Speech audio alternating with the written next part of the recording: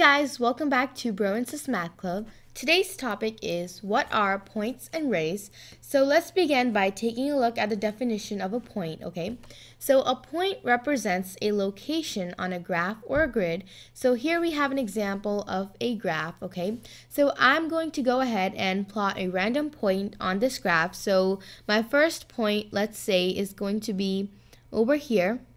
And I'm going to call this point point A and my next point is going to be up here. And I'm going to call this point point B, okay? Now, how will I find the location of point A and point B? Well, if we go ahead and take a look at our rules and steps, so it says rule for finding a point on a graph, okay? To find the location of a point on a graph, find the x and y values of the coordinate. So first we need to find the x and y axis. So remember this, the x-axis is the horizontal line, so this over here is going to be our x-axis. And the line that's going long ways or vertical is our y-axis. Okay, so now we want to find our coordinates for the x and y axis, okay? So first we need to see how many, um, what is the value of point A for the x-axis. So as you can see, for point A, it goes two places to the right on the x-axis, okay? And then it goes two places up for the y-axis. So this is where it intersects at point A. So the coordinates for point A are going to be written as parentheses x comma y, okay? So for point A, we're going to write, so point A is going to be parentheses and then the x value, so the x value is 2, and then the y value, which is also 2, and then parentheses closes it out, okay? So we'll read this as 2 comma 2 okay? So the coordinates for point A are 2 comma 2 so now let's go ahead and find the coordinates for point B okay? So same thing.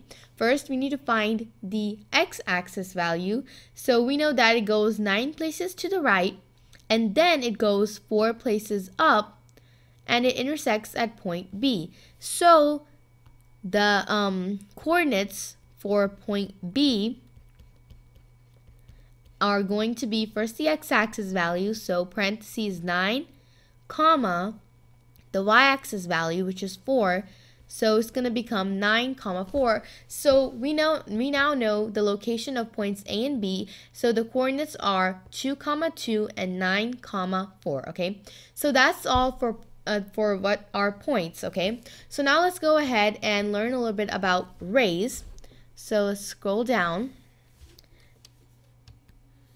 Okay, so now, what is the definition of a ray? Well, rays begin at a given point and go on for infinity, okay? So, rays are going to begin at a given point. So, let's see, the given point is called point A. And then this ray is going to go on for infinity, okay? Sorry, let me make that over. It's going to go on for infinity, okay?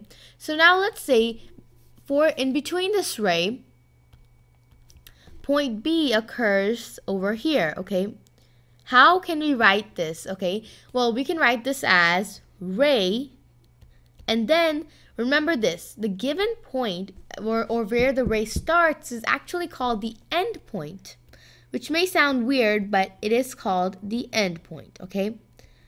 And the point that comes in between or which in which the ray is headed, so in this case it's point B, is called the direction.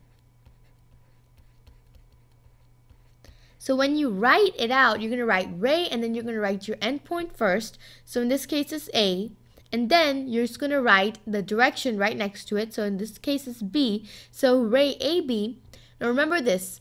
When you write your endpoint and your direction, always, it doesn't matter which way the ray is headed, it always has a small ray on top that is headed to the direction of right, okay? It's always going to be headed right, okay? So now let's say we have another example here. So our given point in this case is going to be E, okay? And now this ray is going to go on for infinity. And in between, we have point F, okay? So now we know that the given point is going to be our end point. And the point that comes in between or in which it's the ray is headed in direction of is going to be called the direction. And when we write this, we're going to write ray and then first your endpoint, so it's going to be E, and then your direction, which is F.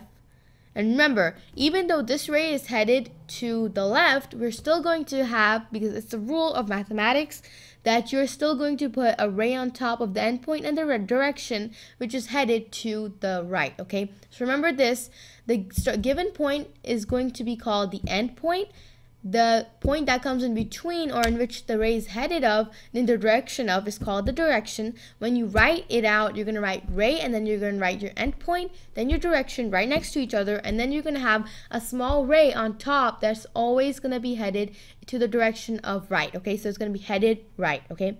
So that's all I have for this video.